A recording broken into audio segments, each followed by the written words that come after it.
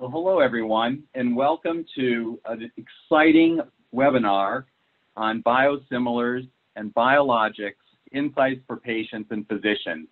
I'm very happy on behalf of AARDA, the American Autoimmune Related Diseases Association, and the Biosimilars Forum to welcome you to our webinar today. My name is Randall Rutta, and I'm the president and CEO of the Auto, Auto American, American Autoimmune Related Diseases Association, otherwise known as AARDA. And AARDA, for nearly 30 years, has been an advocate and a champion supporting people with autoimmune diseases across all categories of conditions, trying to foster information, facilitate collaboration through education, public awareness, advocacy, and research. Many of you on the call have an autoimmune disease or have a family member with an autoimmune condition or maybe multiple conditions. And we're very excited to have you participate in this webinar today. One in five people you meet may have an autoimmune disease or may develop one later in life. Some 50 million Americans have an autoimmune disease. And that includes more than 100, we're thinking 130 or so, diseases that are specifically diagnosed as autoimmune conditions and about 75% of autoimmune diseases occur in women. So it's very much a women's health issue as well as an issue for men and families generally. Our agenda today is outstanding. We've pulled together amazing experts in the area of biologics and biosimilars, and I'm so excited that you can hear from them today.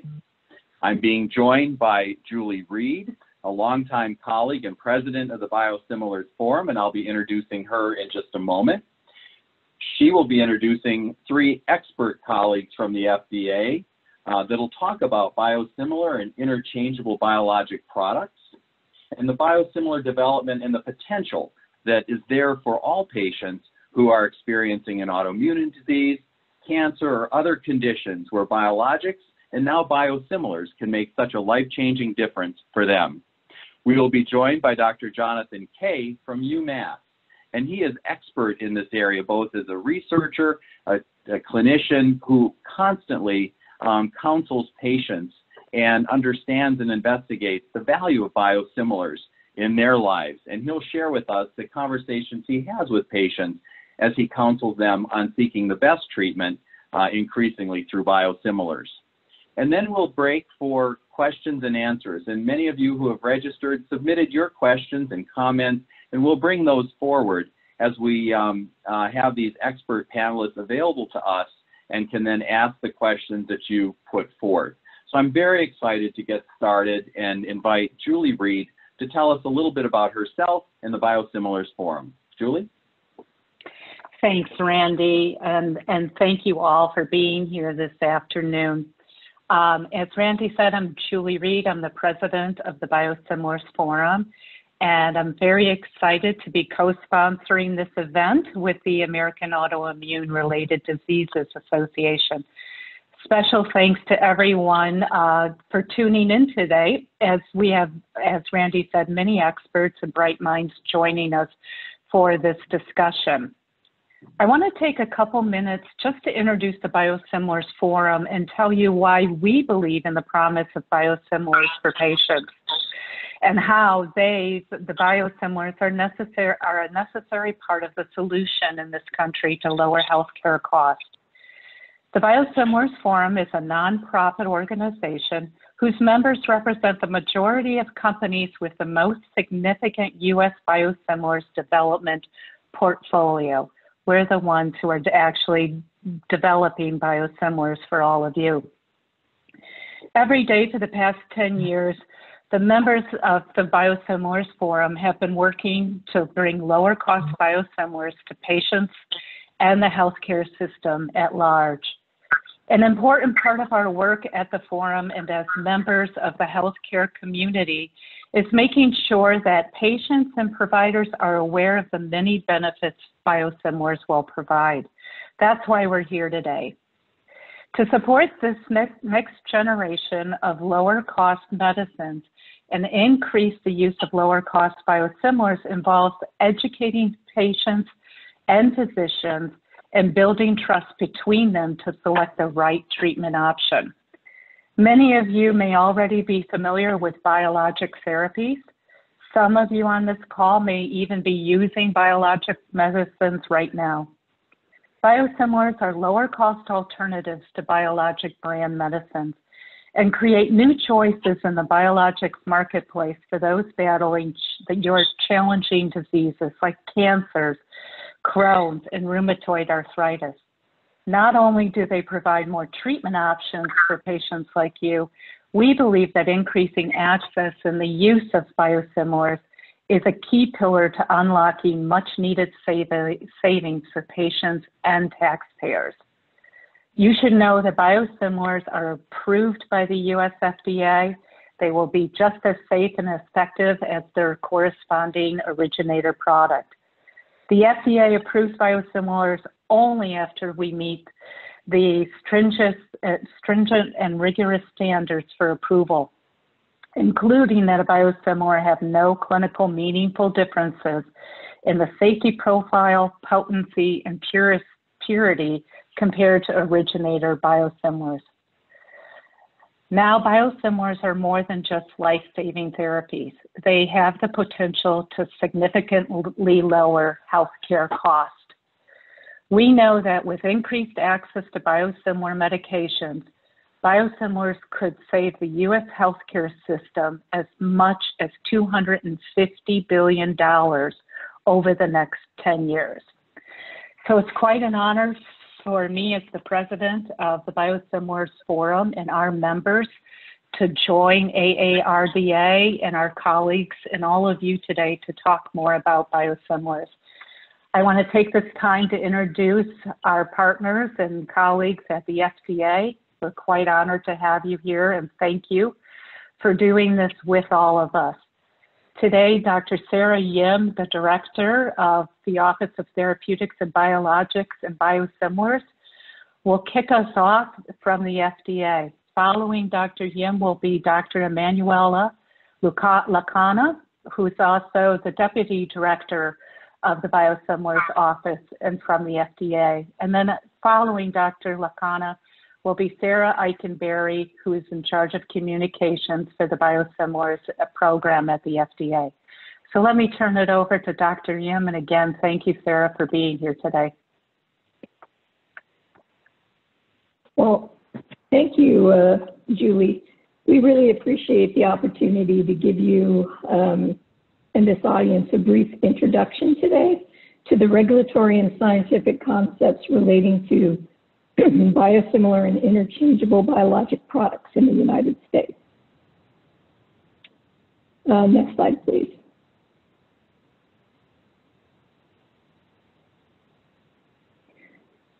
So this slide uh, summarizes the current status of biosimilars in the U.S. As shown in the table on the right, there are 28 approved biosimilars to nine original brand reference products in the U.S.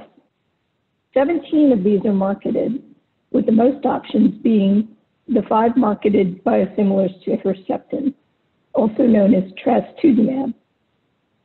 Although half of the approvals um, were for drugs that had um, autoimmune disease-related conditions approved, and that is biosimilars to Humira, Remicade, Enbrel, and Rituxan. Only the two approved biosimilars to Rituxan and two out of the four approved biosimilars to Remicade are on the market.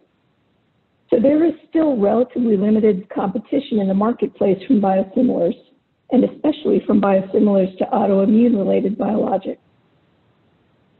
The table on the left lists out the approved biosimilars by name by year of approval and marketing status, and the asterisks mark the ones for which an advisory committee meeting was held.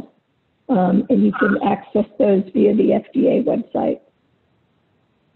Generally, uh, these advisory committee meetings were held for the first uh, biosimilars to a reference product. Next slide, please.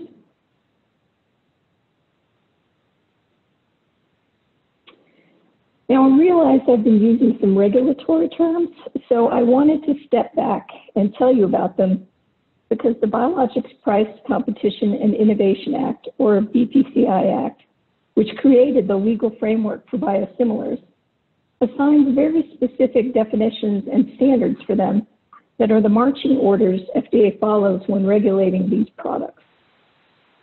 So first, a reference product is the single biological product already approved by the FDA against which a proposed biosimilar product is compared. In other words, the original brand biologic. A biosimilar is defined as a biological product that is highly similar to and has no clinically meaningful differences from an existing FDA-approved reference product. So FDA has to determine a biosimilar meets this standard in order to approve it. An interchangeable product is a biosimilar, so it has to meet the same standards as other biosimilars. But there are also two additional standards um, that are related to the potential for substitution. One, the expectation that it can produce the same clinical result as the reference product in any given patient, which, to be honest, I'm not sure is any different than no clinically meaningful differences. And two, that switching between the proposed product and the reference product does not increase safety risks or decrease effectiveness compared to using the reference product without switching. Next slide, please. So if determined to meet the definition outlined in the BPCI Act, an interchangeable biosimilar product may be substituted for the reference product without the intervention of the healthcare provider who prescribed the reference product, um, subject to state laws. There are no interchangeable products yet available in the U.S. The additional information expected in an interchangeable application is intended to help inform what might happen with substitution at the pharmacy level. and that is such as what happens with generic drugs, where patients could potentially get you know, a different generic depending on, you know, the occasion or the pharmacy, whatever's available. An interchangeability designation must be requested in an application and does not indicate a higher level of biosimilarity. An example of data they use to support uh, an application for interchangeability is a switching study, which is diagrammed here and this is where one group stays on the reference product uh, and the other group switches between the reference product and proposed interchangeable product. Pharmacokinetic sampling, efficacy, and safety parameters would be evaluated in this kind of study. But the particular data needed for a given interchangeability application really would depend on product and context-specific factors such as the level of safety concern about anti-product immune responses. Next slide, please. so I mentioned that um, interchangeability is kind of like the generic drug scenario. And the question is, why is the concern potentially different for generic drugs relative to biologics? And this goes back to some fundamental differences between chemically based drugs and biologics, which are larger, more complex, and heterogeneous products. So I want to talk about that for a minute. So first, let's think about what's in a dose of a typical small molecule drug. On a molecular level, you're typically not talking about a lot of variety. And I'm using Viagra here as an example because I found a nice picture of Viagra and its generic side by side. If you were able to see into either pill using molecular eyeglasses, you would see that the sil a sildenafil molecule is a sildenafil molecule. The lack of variety here means that for a brand or a generic, either product is based off of identical molecules. The things that could be different are more about their wrappings. So in other words, the things in the product that may have an effect that could cause a difference in exposure. Um, and here I'm using a, um, jelly beans as an analogy. So here, um, sildenafil would be a single yellow jelly bean, a sildenafil molecule. And um, really what's different in the generic versus the brand would be uh, the wrapping. Slide six. Uh, Uh, next slide, please. So why doesn't it work this way for biologics? Why do we have to call them biosimilars and make it sound like somehow they fail to be the same? Well, the problem is not because of the copier, but the thing to be copied. So let's talk about what we're trying to copy. Next slide, please. Biologics, as I mentioned, are typically um, made from or contain large protein molecules. These proteins are made in cells from a genetic template, but after the protein is made, other add-ons and changes to the protein happen inside the cell that aren't from a template, and so they're not as well controlled. The end result is that an average biologic reference product will be a mix of many slightly different versions of that protein in each dose or batch. So a biosimilar can start off with an identical genetic, genetic template as the reference product and produce an identical basic protein molecule, but then uh, must account for the variety that happens after that. So going back to the jelly bean analogy, a biosimilar's job is not just to match one of the jelly beans, but also to match the pattern of jelly beans in the jar. And because the mix in the reference product is slightly different each time, the biosimilars are trying to match the varieties not just at one time, but the range of variety that's observed in the reference product's jars. So biosimilar sponsors study many lots of the reference product over time and put together a production process that can follow those patterns and variants in a way that is highly similar. But this is the reason why they're called biosimilar and not biosame or bioidentical or even generic. For most biologics, each time you receive a dose, that dose is slightly different from the previous dose because it contains a slightly different mix of variants. So the reference product isn't identical to itself, dose to dose or batch to batch. There isn't just one thing to be copied, so the concept of being identical is not even an option. Next slide, please. So the answer to the question of why can't a biologic be copied exactly is that most biologics are a mix of versions of a molecule and what's in the product is never exactly the same. But this is the expected state for a biologic. So this heterogeneity is monitored and production processes are adjusted if needed to keep the variety within a certain range. These are things that both the reference product and their biosimilars would do.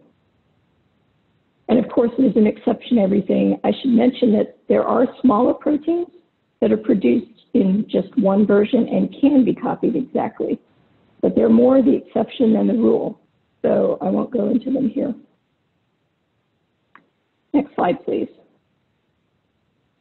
So the key takeaways. Um, as you'll hear from Dr. Lacana um, in a little bit, um, comparative analytical data are the foundation of a biosimilarity assessment because understanding the pattern of the varieties in each product allows us to determine whether they should function similarly. Biologic products are often a mix of molecular variants that are slightly different in each dose or batch. And a biosimilar can be shown to be highly similar to its reference product through this extensive comparative analytical data on the pattern of the variants and the impact of the variants on structure and function. For approval, FDA must determine that a biosimilar has met the highly similar standard and that the biosimilar has no clinically meaningful differences from its reference product. The clinical studies in a development program for biosimilars are used to provide supportive information and not to reprove efficacy and safety. All these things are scrutinized very carefully during FDA review, and approval means that patients and their healthcare providers can be confident in the safety and effectiveness of a biosimilar slide, please. Interchangeable biological products are also biosimilars, and they're not yet available in the United States. By definition, interchangeable products are intended to be pharmacy substitutable without intervention of the prescribing healthcare provider, as is the case with small molecule generics, um, but subject to state laws. Interchangeable designation does not indicate a higher standard of biosimilarity, but rather incorporates different statutory criteria that reflect scientific considerations related to the potential for substitution without the prescriber's knowledge. So patients and healthcare providers do not need to wait uh, for a biosimilar to become an interchangeable product. In fact, a company may not even seek licensure for interchangeability, for example, if its product is one that's administered in a setting where the prescriber is likely to be present, such as an infusion center or hospital. Um, and that, that brings me to the end of my uh, part. Thanks for your attention. Now I'd like to turn the floor over to Dr. Lacana, who will tell you more about the biosimilar regulatory review process and go through a brief case study. Good afternoon. I would also like to share my appreciation and thank the organizer for the opportunity to speak today. Um, if you could please go to the next slide.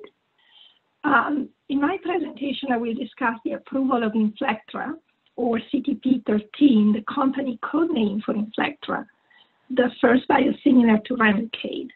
Most of the case study slides I will show were presented at the advisory committee meeting held before Inflectra was approved. Before delving into the actual case study, I want to provide a brief regulatory background and description of the molecule. Uh, next slide, please. Uh, a licensure pathway that permits a biosimilar biological product to be licensed under 351K of the Public Health Service Act based on less than a full complement of product-specific preclinical and clinical data is an abbreviated licensure pathway. What is abbreviated about a biosimilar application and what is a rationale for that? If you're familiar with drug development for a new product, represented by the square on the left, often very little is known about it. So a sponsor has to provide all the important information and do all the studies to find the right dose and show whether it works in a particular disease or condition. This typically includes the full complement of data analytical data for full molecular characterization, as well as formulation and manufacturing information, non-clinical data to support the safety of use in humans, and a lot of clinical data, pharmacokinetic and or pharmacodynamic data, as well as multiple clinical trials, including the phase three trial that definitively established the safety and efficacy of the product for each disease or condition the sponsor is seeking approval for. Contrast this with an abbreviated um, application for a biosimilar product represented by the pyramid on the right. The main emphasis is the comparison of the biosimilar with its reference product. The analytical comparison is the foundation of the biosimilar pathway.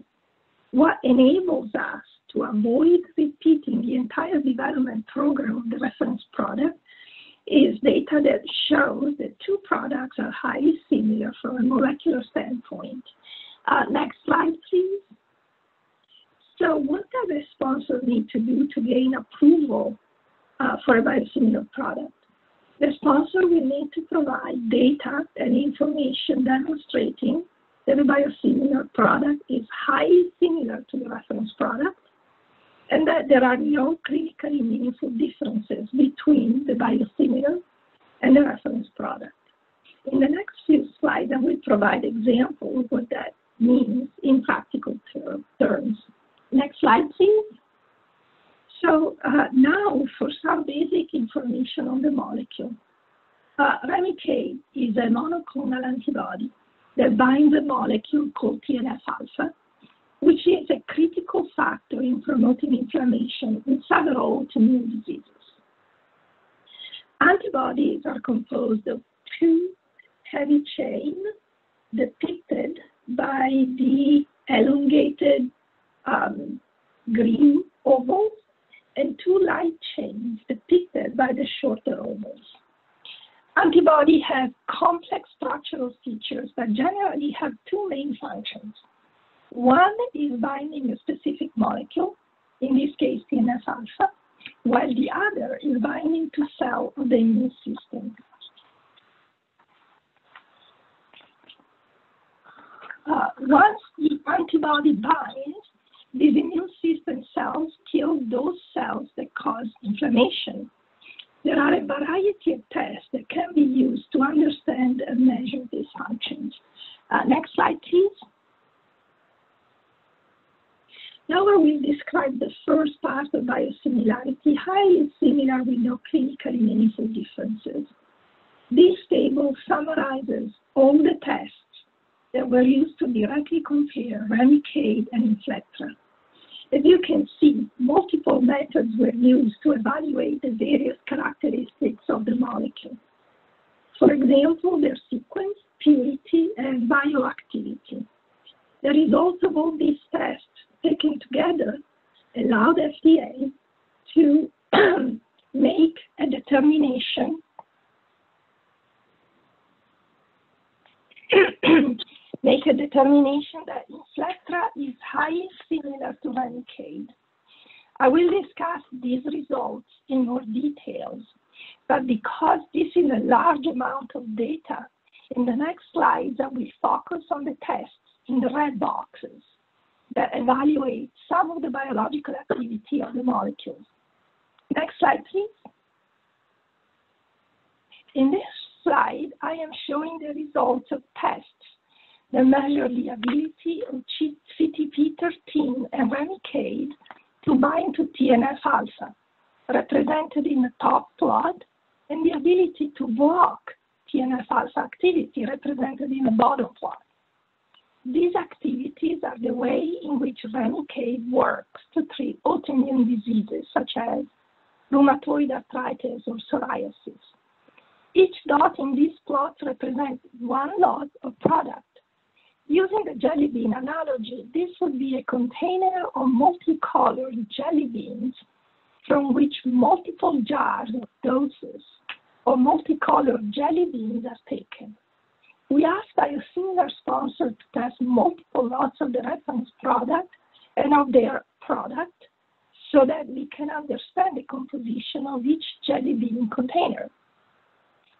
As you can see, the biosimilar product lots have distributions that is very similar to the reference product, Remicade, as well as to European source on infliximab. These data were analyzed using a statistical test depicted in the left side of the slide. If the horizontal bar falls within the two vertical bars, the lots are considered equivalent. These tests show that CTP13 has the same TNF-alpha binding and TNF-alpha blocking activity as Remicade. Next slide, please. This slide shows a different type of biological activity. In the antibody cartoon, I showed you a part of the molecule that binds to immune cells and activates them to kill inflammatory cells. The tests in this slide measure this function, called antibody-dependent cellular cytotoxicity, or ADCC. CTP13, Remicade, or European-sourced infliximab were evaluated for their capability to activate and induce the killing activity of either a mixture of immune blood cells on the left or a selected population of immune cells on the right. The method used for data analysis, called quality ranges, provides that the lots should fall within the red horizontal bars. As you can see, for the test conducted using immune blood cells, all the results fall within the red bars. For the test on the right, 92% of the test results for CTP13 fall within the red bars. This can happen when using different tests to measure the same function. Regardless, this finding heightened FDA scrutiny, and the agency worked with the sponsor to establish specific controls to ensure that all future lots would fall within the red bars. Based on the results of this test, I showed you and numerous other tests that were used to compare Remicade and CTP13, the FDA made a determination that CTP13 met the highly similar requirement. Now I will discuss the data used to establish no clinically meaningful differences. Next slide, please. In study 1.4, healthy volunteers were administered a dose of CTP13 and of US or EU Remicade. Blood samples were taken at different times to measure the level of the drugs in the blood. The results of this study are summarized in this plot. As you can see, the blood levels of the drug are similar among CTP13, US and EU Remicade for the entire duration of the study. Uh, the inserted graph on the top is an enlarged profile of the first two days of the study. Uh, next slide, please. Study 3.1 was a comparative clinical study in 606 patients with active rheumatoid arthritis. The main result that determined whether the medicine worked was the ACR20 response at week 30. ACR20 means that there is at least 20% improvement in the tender and swollen joint counts, in addition to at least 20% improvement in three of four measures of disease signs or symptoms. Here we display the primary efficacy results from study 3.1. Among patients, 61% of patients on CTP13 were ACR20 responders at week 30, as compared to 59% on Remicade. Uh, next slide, please.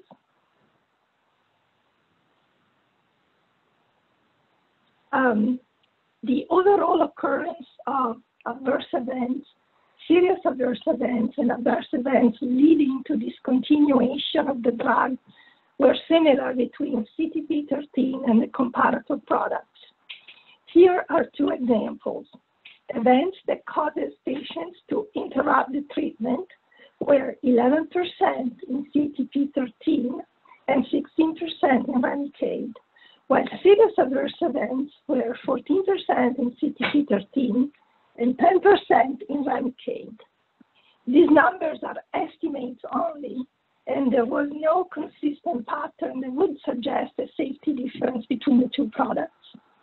In addition, immune responses against the product can sometimes be associated with changes in exposure or allergic reactions so anti-drug antibodies were measured in these studies. As you can see, the anti-drug antibodies were generated in the same proportion in patients treated with CTP13 or with Remicade. Based on the totality of the data from the clinical studies, including the pharmacokinetic efficacy and safety data, FDA determined that there were no clinically meaningful differences between CTP13 and Remicade. Uh, next slide, please.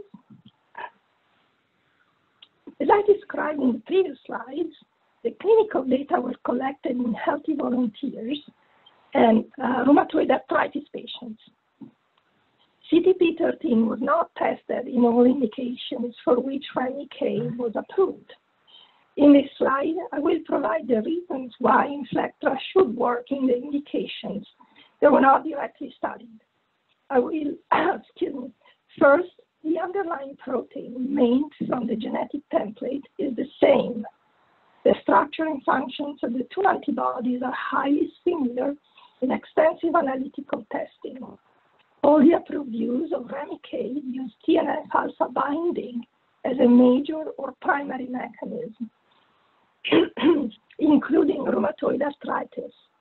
The analytical tests showed that TNF alpha binding was highly similar between the two products, and the clinical data in rheumatoid arthritis patients was consistent with that.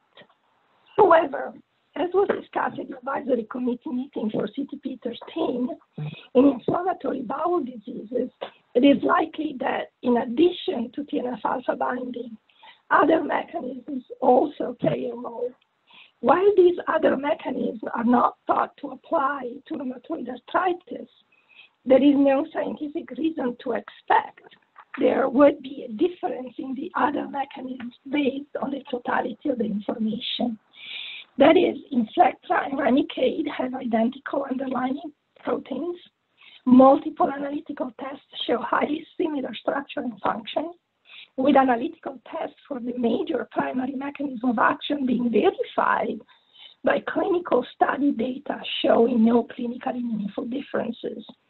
The data to support using IBD was therefore strong, and this has been borne out in clinical data now available for this indication. Uh, next slide, please. Inflectra was brought for discussion to the Arthritis Advisory Committee, and gastroenterologists were a joint member of the committee. All aspects of CTP13 application were discussed, and ultimately the committee voted 21 to 3 to approve Inflectra for all the indications for which Remicade was approved. Uh, next slide, please. Uh, since approval, extensive clinical data in IBD patients have been published from randomized trials and observation studies in thousands of patients. These data are consistent in showing that there are no differences in clinical safety, efficacy, or immunogenicity and that there are no differences after patients are switched to a biosimilar.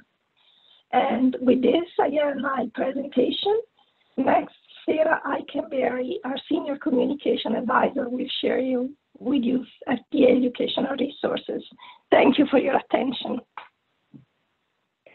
Thank you, Manu. I'm happy to be here to just share briefly the resources that FDA has um, about biosimilar interchangeable products. Next slide, please and the next one. Thank you.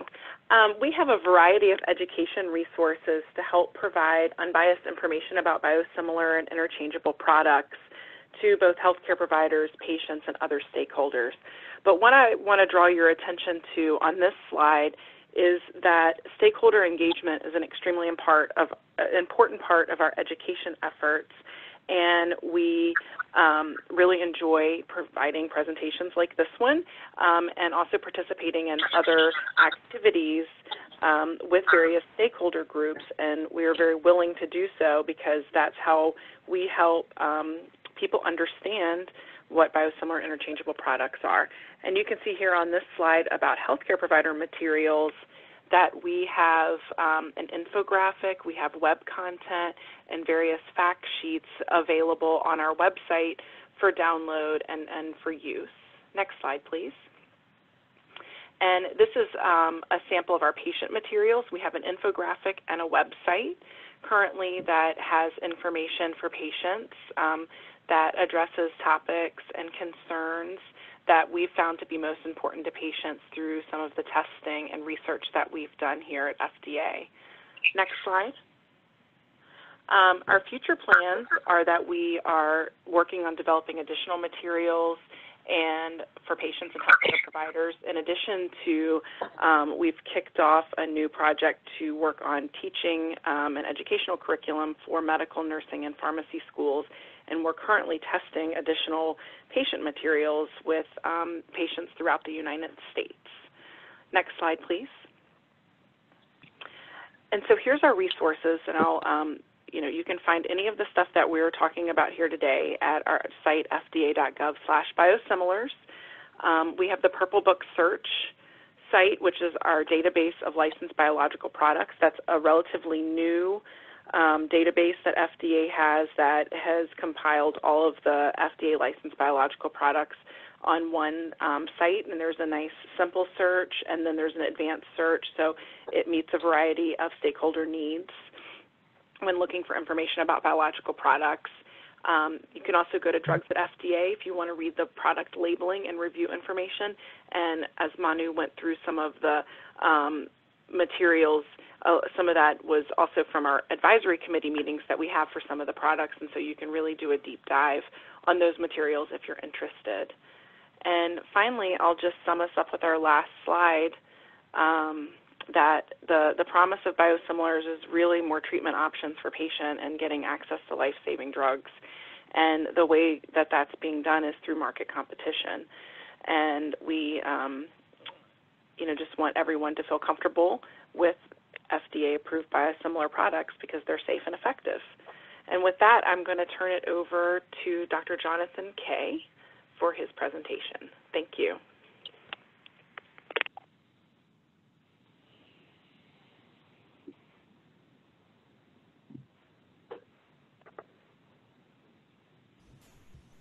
Thank you very much.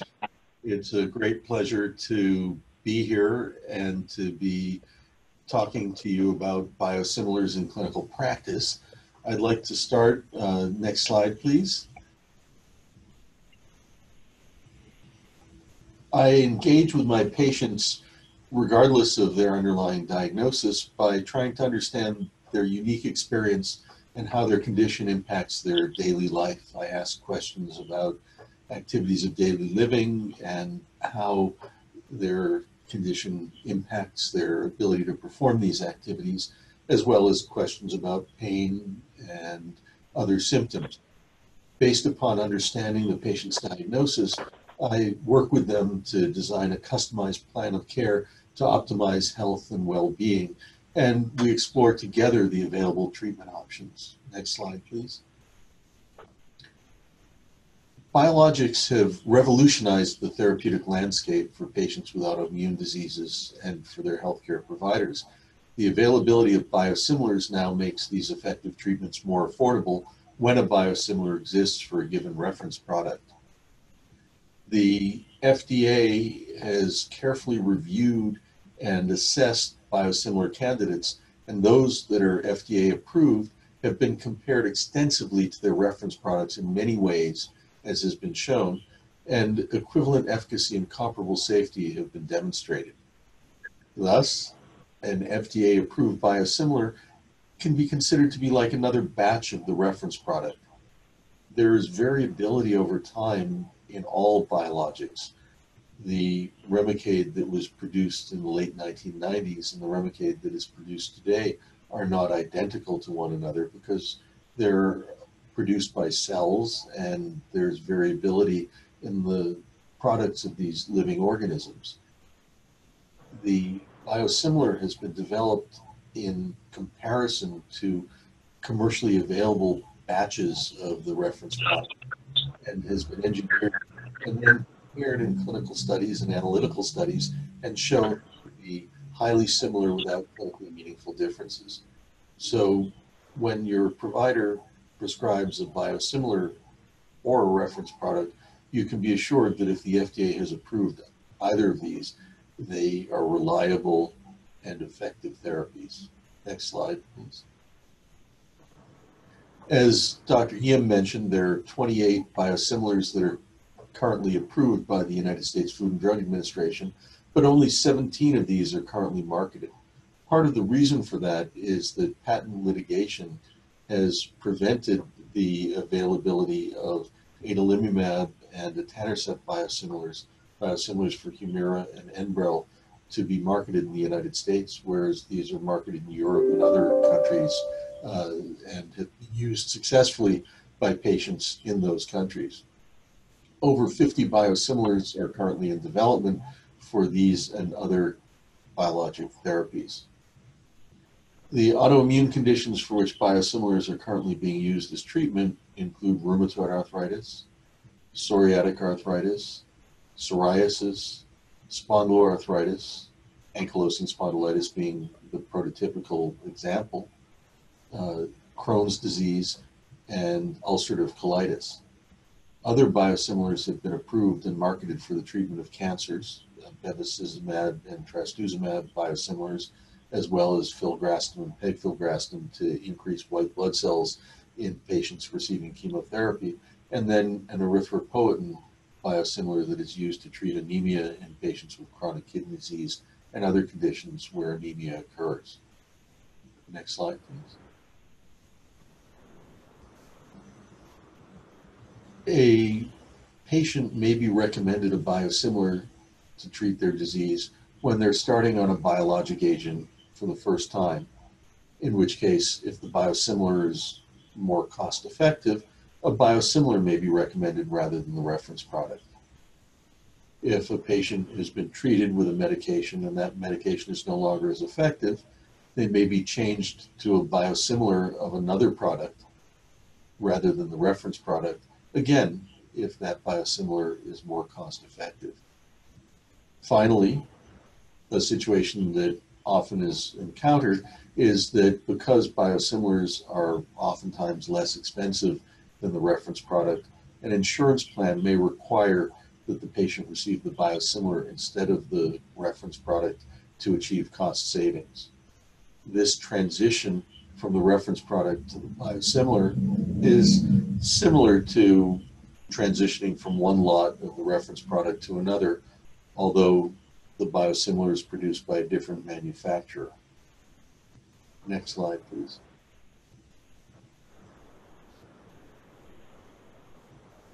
Biosimilars provide economic benefits to patients and to the healthcare system. They provide a less costly approach to comparable treatment, and the experience in Europe has been positive and holds promise for the United States. Use of a lower cost biosimilar benefits others with your condition by allowing more people to be treated with an effective medication. Taking into account rebates and discounts to pharmacy benefit managers, the annual cost of Humira in 2018 was about $38,000 a year. In the United Kingdom, an adalimumab biosimilar, a biosimilar of that reference product, costs about 3,000 United States dollars per year for a patient. Thus, one could treat only six to eight patients with Humira in the United States for the amount that it costs to treat 100 patients with adalimumab biosimilar in the United Kingdom. The savings realized by using biosimilars may be redirected to pay for novel therapies that address unmet needs. So not only can more patients be treated with effective biological therapies when biosimilars save financial resources in the healthcare system, but these resources may be redirected to pay for novel treatments that address unmet needs for other diseases. Next slide, please. This slide depicts the healthcare triangle in the United States payment system. There are three stakeholders in healthcare the patient, the provider, and the payer. The patient consumes a medication but neither chooses nor pays the full cost of the medication in most cases. The provider chooses the medication and writes the prescription, but neither consumes the medication nor pays for the medication. The payer, the insurance provider, pays for the medication, but neither has the ability to choose the medication nor consumes the medication. So, how does the payer regulate the expenditure of their dollars for effective treatment of insured individuals. The payer may initiate a prior authorization process whereby the provider has to provide a certain amount of information to justify prescribing the medication that they chose to prescribe for the patient. This requires additional work on the part of the provider or the provider's office and slows down the process whereby patients can receive effective medications in order to transfer some of the financial burden the payer experiences to the patient, the payer may require a co-payment, a smaller portion of the cost of the medication, which the patient must foot uh, in order to receive the medication. So how could one incentivize the use of biosimilars, which are less expensive in most cases than the reference product, and which will reduce the overall expenditure of healthcare dollars. The payer should share some of the financial cost savings with the patient, either by waiving the copayment or significantly reducing the copayment required of the patient. For the provider to incentivize prescription of biosimilars, the payer should waive prior authorization. Thus, if a provider wants to prescribe a certain biopharmaceutical, if the biosimilar is available, the provider might prescribe the biosimilar without having to go through the paperwork required of prior authorization. Whereas if the provider wanted to prescribe the brand name drug, they would still have to go through the prior authorization process. Patients still have free choice. If a patient does not wish to receive a biosimilar, the patient is not prevented from receiving the reference product. However, the patient may have to foot the entire cost of the reference product, which can be upwards of $50,000 a year for a medication such as Humira. Next slide, please. Advantages of lower cost biosimilars to the payer. Greater competition in the marketplace should result in price reductions and direct savings. And this has occurred with infliximab Remicade initially during the first two quarters of the year in which the biosimilar Inflectra was introduced, the cost of 100 milligrams of Inflectra was about $200 more than the cost of 100 milligrams of Remicade. However, subsequently, the average sales price of the biosimilar decreased to below that of the reference product. And now, with the availability of two infliximab biosimilars, the price of reference product Remicade has decreased by about 50% from 2017, and the price of the two biosimilars are even lower than the price of Remicade. As I mentioned earlier, spending could be redirected toward expanded patient access, either to more patients receiving the same molecule or to other patients receiving other medications, innovative treatments to address unmet needs. For providers, the availability of lower cost biosimilars facilitates the choice of the most appropriate treatment for the patient. This has the potential to improve treatment outcomes. And for the patient, medications for optimal treatment should become more accessible because the financial barrier should be lessened. But most importantly, patients should share in the financial savings acquired by the insurance provider with the use of a biosimilar. Next slide. In summary, an FDA approved biosimilar is like another batch of its reference product and can be used by a patient with the same confidence that the patient uses the reference product. Transitioning from biooriginators' reference products to their biosimilars does not result in significant loss of effectiveness or increased occurrence of adverse events or development of anti-drug antibodies, so-called immunogenicity. The availability of biosimilars has introduced market competition that has driven down the cost of biopharmaceuticals for which there are biosimilars. In Norway, where there's a single payer system, the price of infliximab was 69% lower than that of the reference product with the introduction of the biosimilar. In Sweden, another system where there's a bidding process and a national health insurance, uh, AbbVie came in with a bid for Humira that was 80% lower than their previous price and came in lower than that of the adalimumab biosimilars. Thus, for the subsequent year, patients receiving adalimumab in Sweden received Humira, but that Humira was significantly less expensive to the government than it had been previously.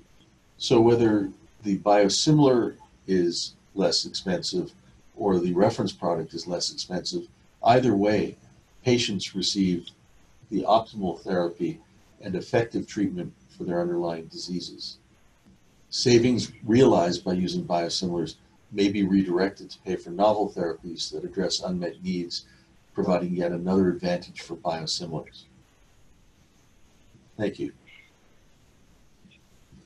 Closing advice uh, for patient physicians Actively consider biosimilars as comparable, cost beneficial, and effective treatments. Rely upon the Food and Drug Administration for expert evaluation and guidance regarding biologics and biosimilars. Choose biosimilars for individualized treatment plans when appropriate, and recognize that savings realized by using biosimilars should support innovation and greater access and should benefit individual patients.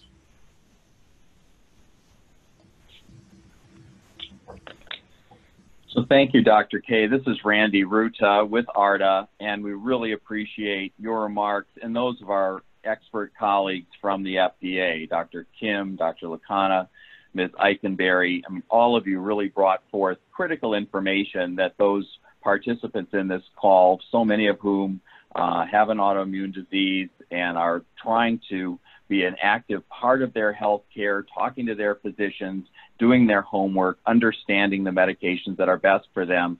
This is critical. Uh, a lot of the information you presented felt technical, and yet I know that you did a really thoughtful job in trying to speak directly to those patients and to those physicians that are also participating on this call. You know, for AARDA as a patient advocate, um, is a, a, group that's promoting public awareness, uh, helping educate and support patients, uh, promoting policies and practices within the healthcare ecosystem that support access and affordability, uh, adherence uh, for medications, including innovative med- medications like biologics and biosimilars. Um, this is such a critical conversation. And the issue of cost savings, both for the individual patient as well as to the system, is huge. Um, now, wouldn't surprise you as I think about the uh, questions that were submitted by those people on the call that many of those questions were very fundamental. I have an autoimmune disease, and really all of the various diseases were mentioned by different um, of those participants. And they just wanted to know are there options for me? How should I think about the medications that I'm taking? So, not surprisingly, so much of what you shared really touched on that. Um, I do have some questions uh, that kind of are reflective, either specifically or uh, kind of batches of questions that were offered up. And if you'd like um, and, um, and are willing, I would go ahead and share those questions with you and invite um, each of you to uh, kind of, in quote, step forward and help us understand for that questioner um, what an appropriate response might be. Now, not surprisingly, we're in the middle of a pandemic, certainly for people with autoimmune disease, underlying conditions.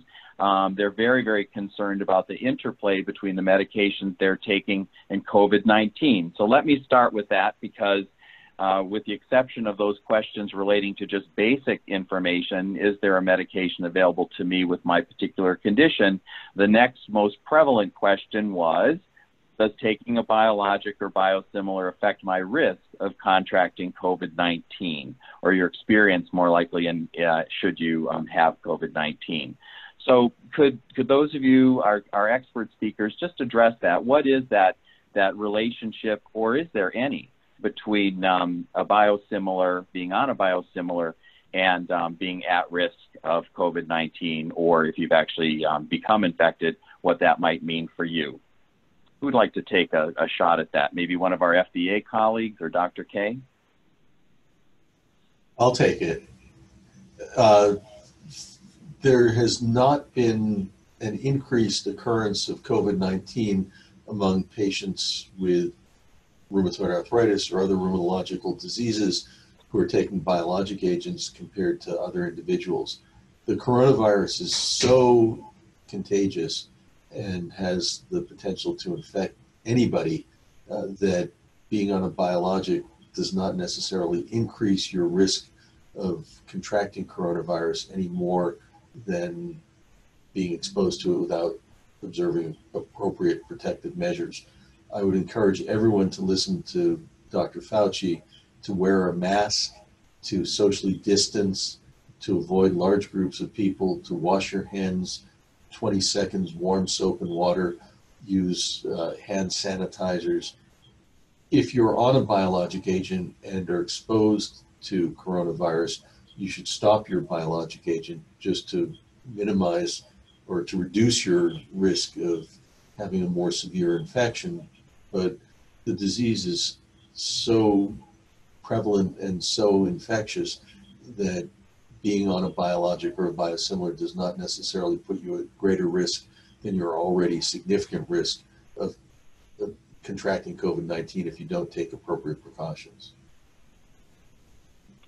I really appreciate that. I know we counsel people with autoimmune disease, those that have come to some of our other programs through AARDA and our partner groups about COVID-19, the risks associated with it, the precautions to take, and um, as you suggest, you know, it's that conversation with their physician to understand exactly what needs to occur. And it's good to know kind of what it is you're sharing with your patients, uh, Dr. Kay, as they ask you about COVID 19, whether they're taking a biosimilar or a biologic or not. It's a top of mind concern, as you might imagine. Um, there's a, a, related question, I guess, and I would maybe put that out to our colleagues at the FDA and maybe you as well, Dr. Kay. Um, do biologics and biosimilars have side effects?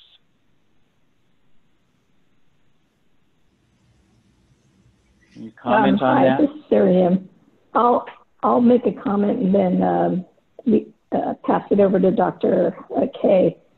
Um, every medicine has side effects. So it, it that particular um, question is no different for a small molecule than it is for a, a biologic. One of the nice things about biologics are that they are you're able to target things more specifically, um, oftentimes than than small molecules that are more general. So, um, in my experience of seeing a lot of data for biologics and, and this includes data for biosimilars. Um, basically, it just depends on what the what the molecule is targeting. Um, but but uh, Dr. Kay, do you want to sure, Anna. add anything? My response would be similar to yours. All medications have potential side effects. A biosimilar does not necessarily have different side effects from the reference product. So if the reference product has a known side effect, the biosimilar is very likely to have that same side effect and vice versa. Injection site reactions for self-administered, subcutaneously administered medications may be different between a biosimilar and the reference product if they're due to the buffer in which the protein is diluted. Uh, so a biosimilar may have less in the way of burning at the site of injection if, for example, it uses a citrate-free buffer. Uh, so not all side effects are identical, but typically biosimilars and their reference products have the same side effect profile.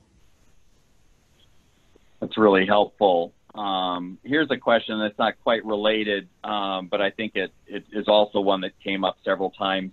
Um, and there may, and I'm going to add to it a little bit for you as I ask the question.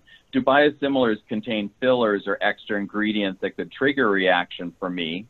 So that was the question. And then I'm wondering if in answering that question, you might also go back to that um, conversation I think that you, Dr. Yim, pointed out, um, that with any biologic, um, as well as then those biosimilars, you may have a batch to batch variation.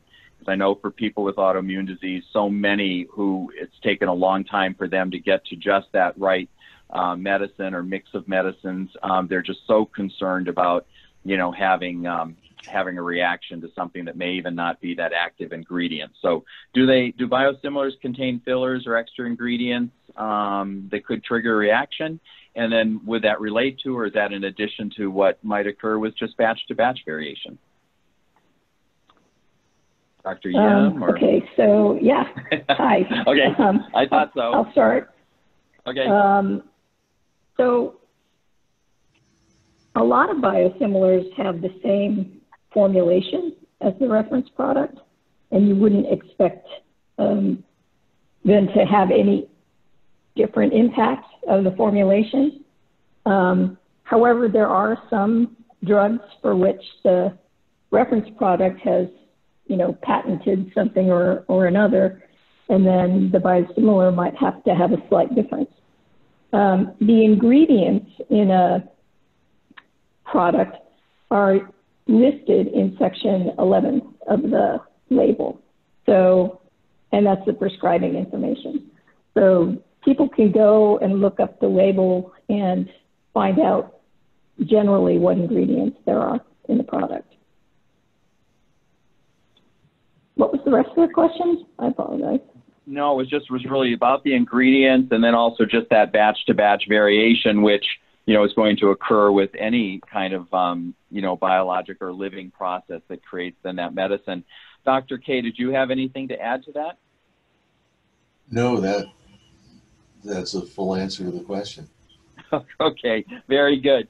Well, and uh, we are also getting questions coming in live from our chats. Here's one um, concerning uh, rituximab, and that uh, is asking um, about whether that might affect fertility and also uh, hair loss. Do you have any understanding of that? Maybe Dr. Kay or Julie?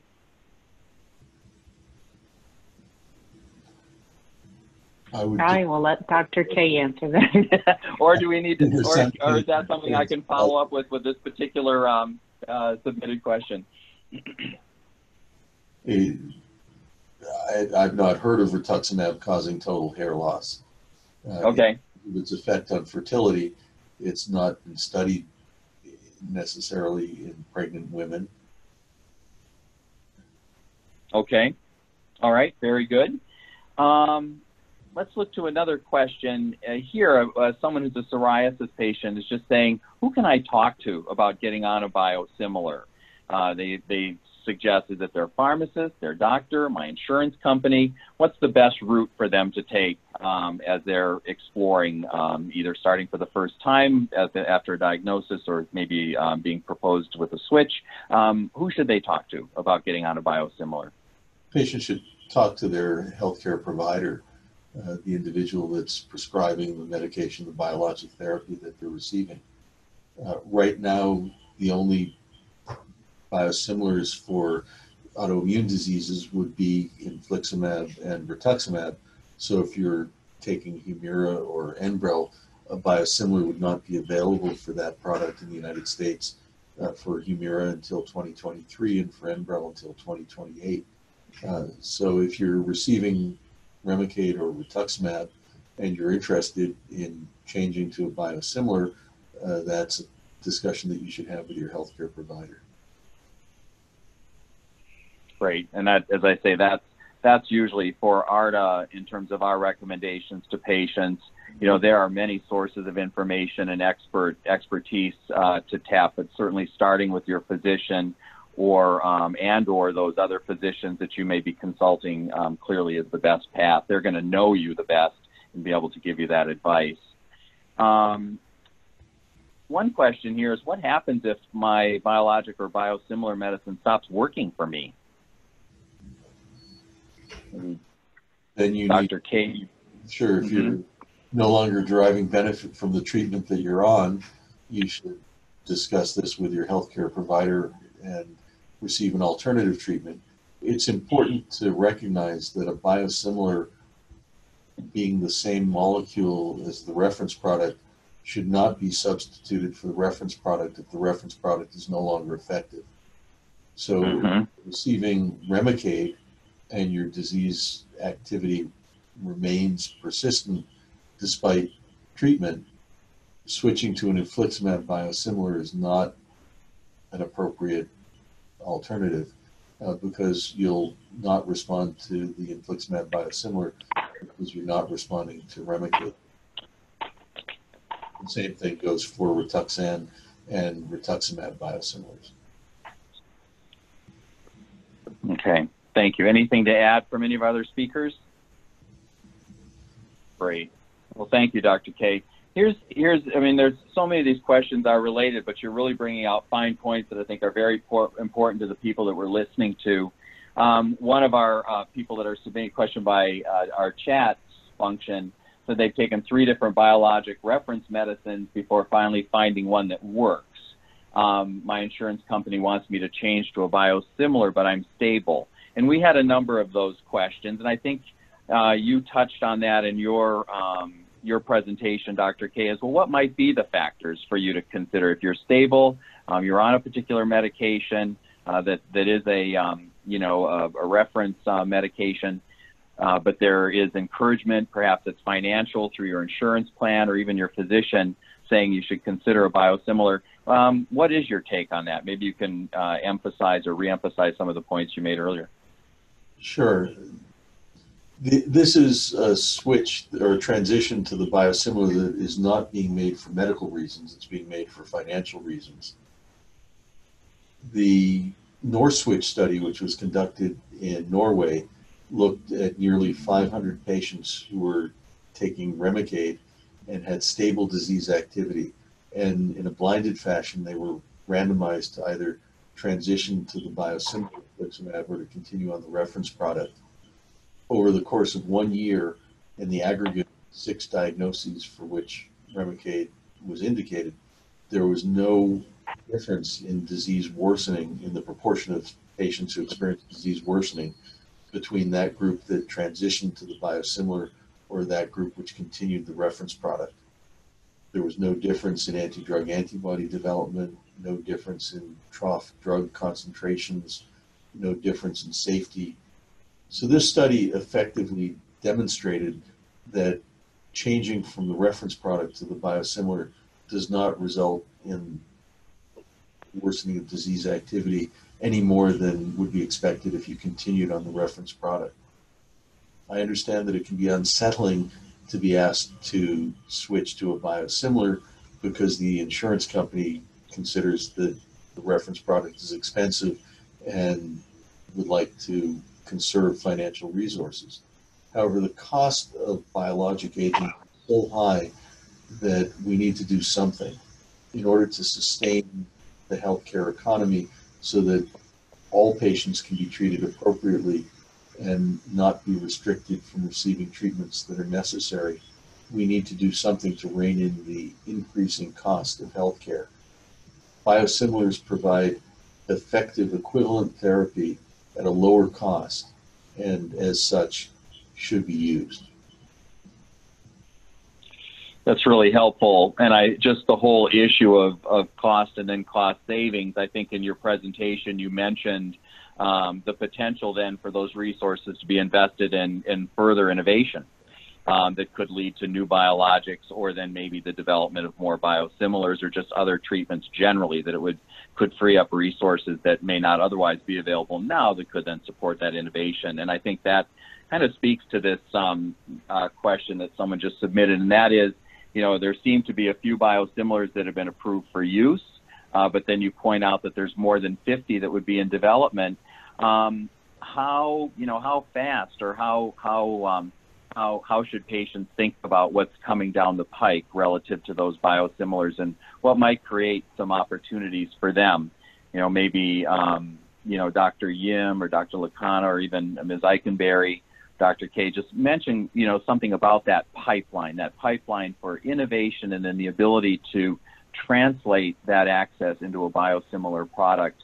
Um, with that number of biosimilars in development, are we going to see more options pop up? And then I'll I'll just say that um, that question is fueled in part by all of the people who have conditions that you did not suggest currently have um, biosimilars or even biologics available to them what about them? Is, does that pipeline hold promise, uh, both in terms of those reference drugs and that level of discovery, or then that translation to the biosimilars? And maybe um, our FDA colleagues and you, Dr. Kane, probably you too, Julie, could could take a stab at talking to us about what's ahead and how might patients so eager for um, you know alternatives to address their symptoms or or perhaps even find a cure at some point what does that innovation pipeline and that pipeline leading to biosimilar access in the marketplace uh, look like?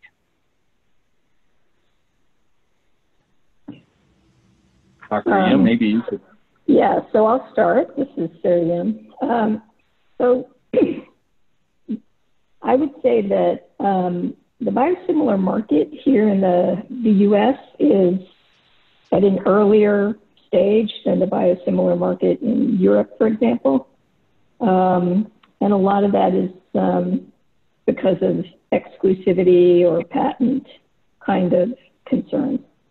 Um, my hope is that we're going to continue to see an increasing number of biosimilars getting approved for um, additional reference products uh, because I think the more biosimilars we have, um, the more effect we're going to see overall in terms of uh, access and cost. Um, but biosimilars by themselves are, by definition, following um, behind the reference products.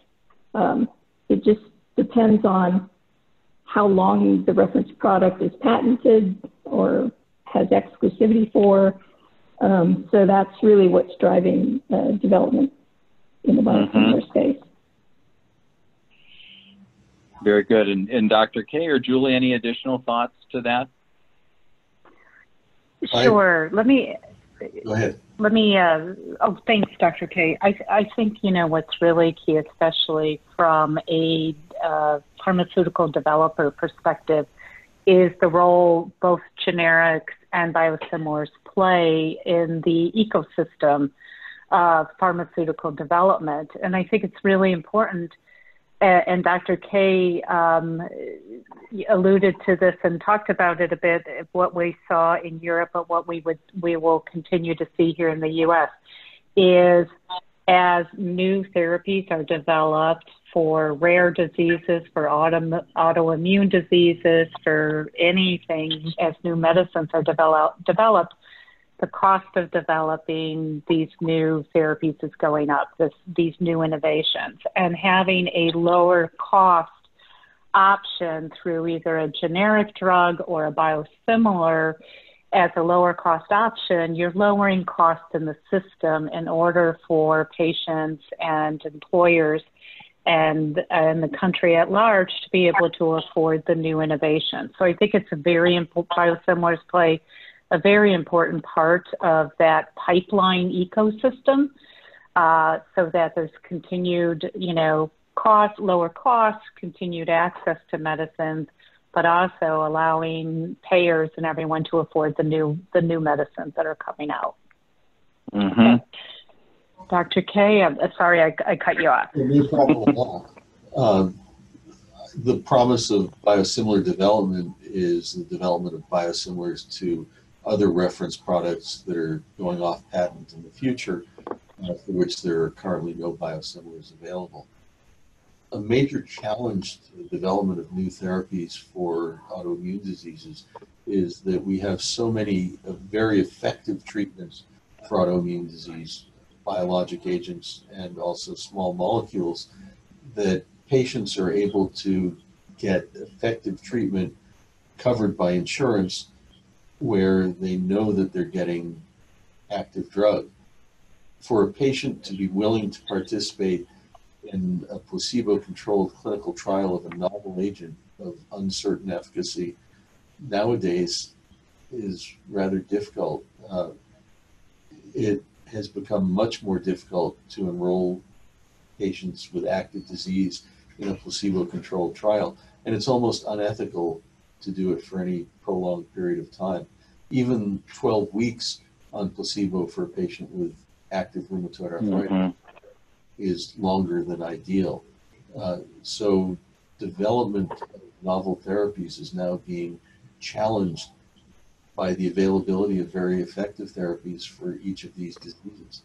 It's only a disease for which there's no currently available therapy that development of novel therapies can be carried out relatively straightforwardly. That's a really interesting point. You know, we very much encourage and actually serve as a bridge for autoimmune patients to understand, know about, and participate in clinical trials that are clearly taking place um, in many cases more around that novel novel intervention or novel therapeutic um, pathway but yet that that clearly plays out. And so um, that was a really good good comment. We've got some simple um, questions that came forward, but they relate to this issue of affordability and availability. Um, one question, and it may speak, I think, to each of you differently, is why do these? Why do biosimilars cost less? Um, it's a it's a living um, process that creates the biosimilar, so I would think that's a little more expensive than just following a simple formulation that you might see in a generic uh, environment. But why do biosimilars um, cost less? And maybe you could just share that with us maybe Dr. Yim or Lacana or um, maybe uh, Julie might have a thought on that. Just you know, help us understand why why they are less costly. Hi, this is Sarah Yim. So, as Dr. Lacana mentioned, um, the main way that biosimilars can um, be at a lower cost is that um, they don't have to do as many clinical studies as a as a drug that hasn't been approved yet because the biosimilars are following the reference product and their um, the information from the reference product clinical development program. So the ability to um, make the pathway uh, less onerous in terms of, of studies and tests is what helps to make biosimilars less expensive. There might be other reasons as well, and Ju- Julie um, can probably speak to those.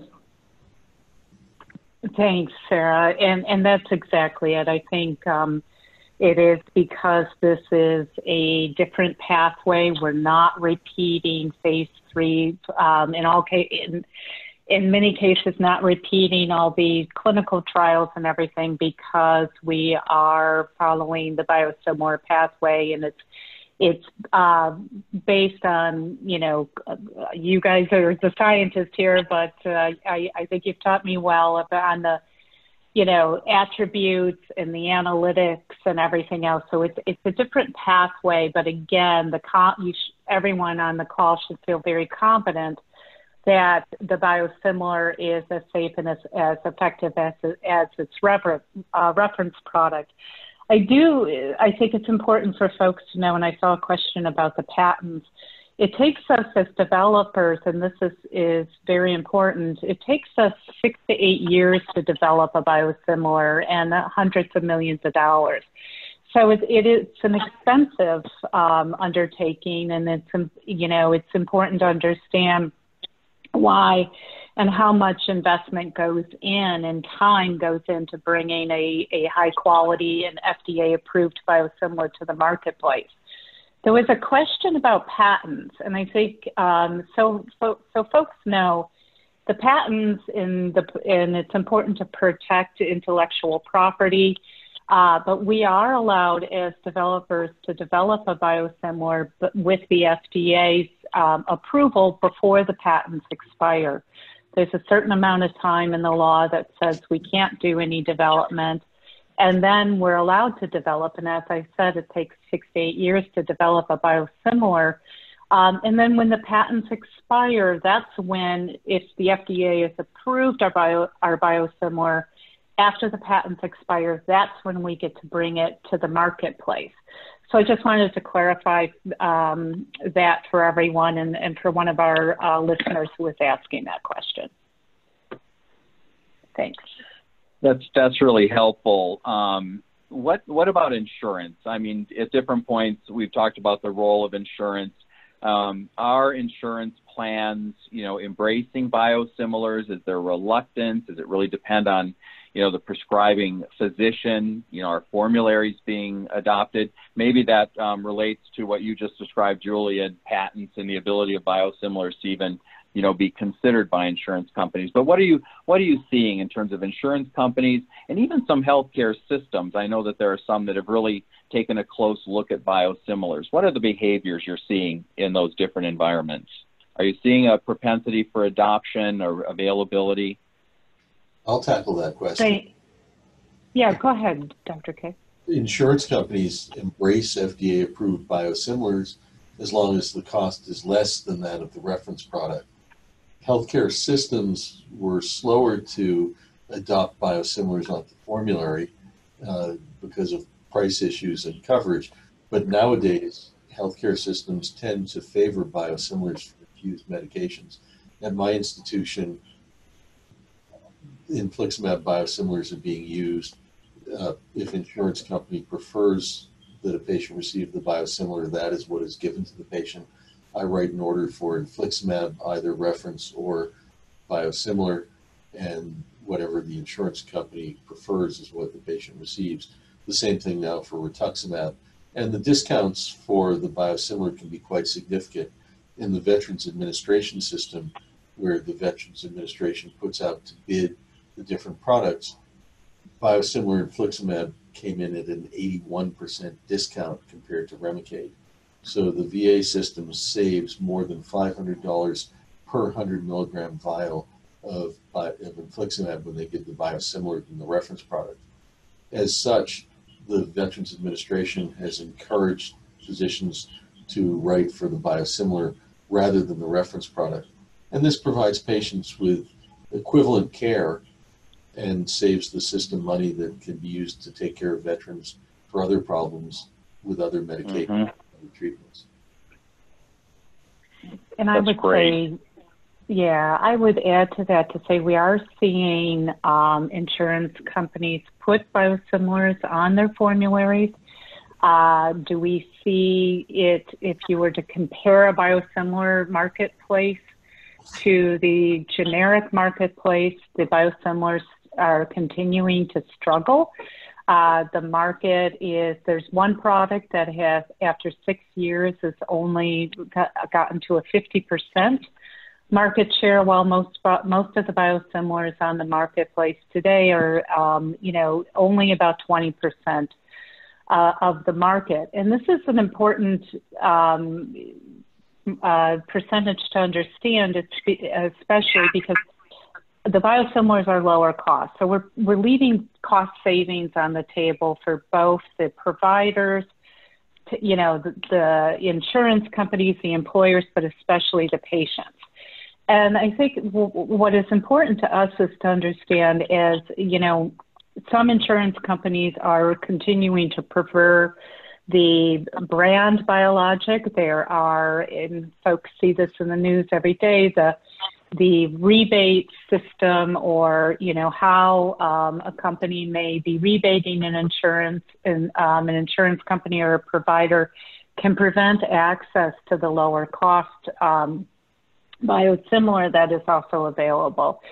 So from a patient perspective, looking at out-of-pocket cost, uh, the question is, and as we talked about earlier, is does your insurance company offer access to a biosimilar?